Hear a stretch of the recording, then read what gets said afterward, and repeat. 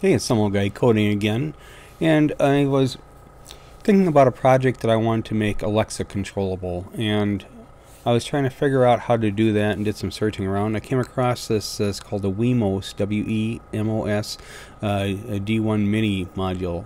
Uh, from doing a little digging around here, looks like the D1 Mini is uh, got the equivalent pin out to the V2, so I think it is uh, the V2 uh, version of the board.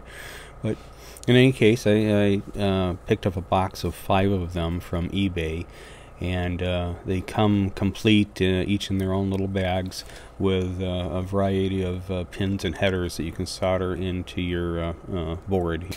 And today we're going to go through the configuration and setup of the software on the Arduino IDE to talk to this board and uh, get a little code so that we can test it out with uh, the Alexa and make sure that it works okay. We're going to be doing this on a Mac today, so if you're on a Windows machine, uh, it, you have to pick the right uh, Windows driver for that rather than a Mac version, and the driver install might be a little bit different for you, but otherwise the rest of it should be applicable. So to save you from having to watch me uh, do hours and hours of struggle to get this done, we'll do a condensed version here and, and basically uh, summarize the steps and uh, how things went. So when it comes time for me to install uh, Arduino IDE, I just Google Arduino IDE, and uh, where I should probably be clicking that top entry there, I always fail and click the second entry. And then this page just confuses me, so it says previous IDE releases, where I think the one on top there is the um, latest release up at the top of the page.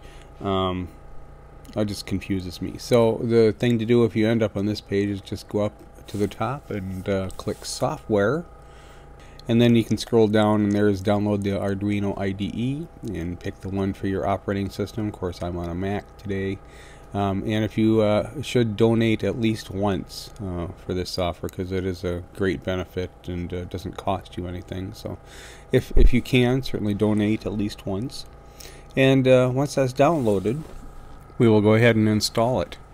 And it takes a couple of minutes to install. Um, but after we do get it installed, uh, I like to just uh, right click uh, on options and say keep in dock. Uh, the executable will be will be in the downloads directory. I probably could move it to the um, applications directory, but this works fine for me.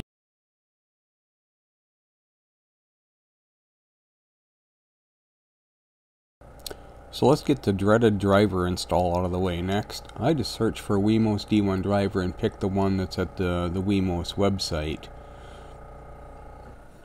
And that should take you right to the download page. Uh, I'm downloading Mac. Your mileage may dif be different with the, with the Windows box.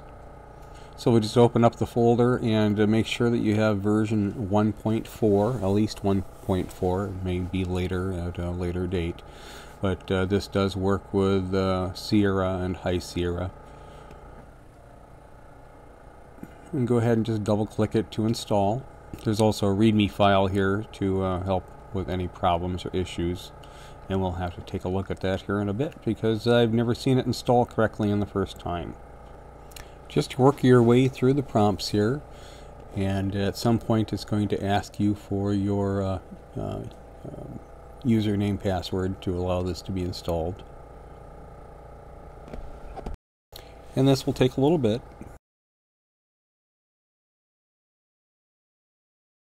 So the very first time you install the driver, uh, you're going to end up with this pop-up here saying that the uh, uh, system extension is blocked.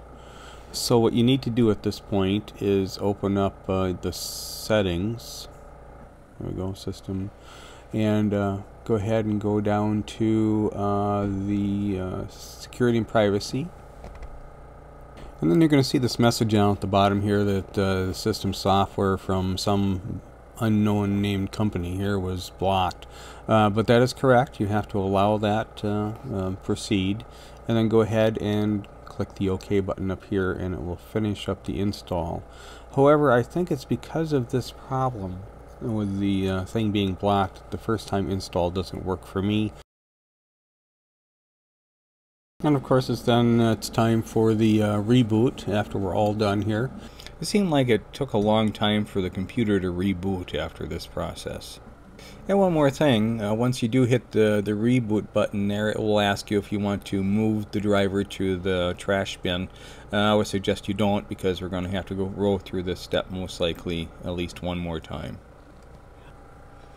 At this point in time, plug in the uh, USB cable and the Wemos D1 into the mini USB cable on the other end.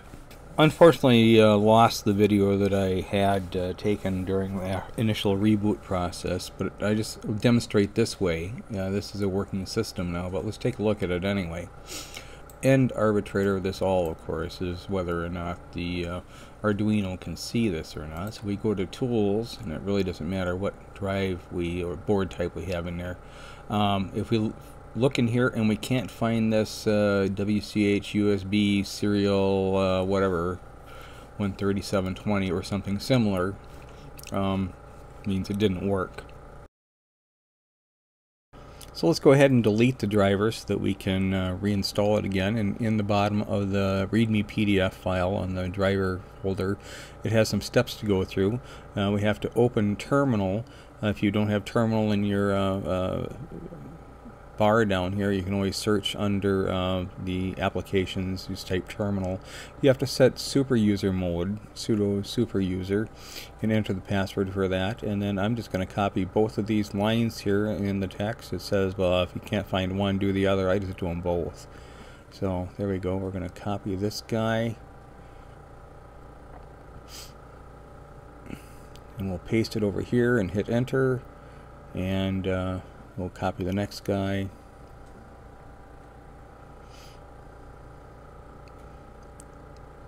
And we'll paste it over here and hit enter. If uh, you're not in super user mode, that second step will definitely blow a whole lot of errors out. So, um, so there we are. We've uh, uninstalled. Uh, the next step would be to go through a reboot, just for safety. So once you've rebooted the system, go ahead and just reinstall the driver just like we did before. And we'll zip right through it here because this is all old stuff. The only difference this time is you will not get a pop-up about needing to, uh, uh, or about the driver being disabled by, by the system. Um, that only happens the first time you try to install. So it seems like maybe the driver installs better the second pass around, not having that interrupt the process. Uh, I don't know if that's the cause or not. It's just uh, it's just an idea. And of course, you'll have to reboot at the end of the driver install here again. And ta-da, we've made it through the driver install. And the proof of this is if you take a look at the Arduino IDE and the uh, under Tools and uh, the port, we should be able to see that appropriate uh, uh ID or uh, uh, appropriate serial port there. Um, if you don't see it, certainly retry the uninstall, reinstall. make sure that you have a real data cable. Don't fight it for a week like I did. Um, and uh, good luck. We'll continue on in part two of this video. This is getting a little long and uh, pretty uh, tedious having to uninstall and reinstall. So we'll continue on in part two, uh, setting up the drivers and uh, setting up the initial piece of firmware to uh, talk to um, the Alexa box. Thanks for watching.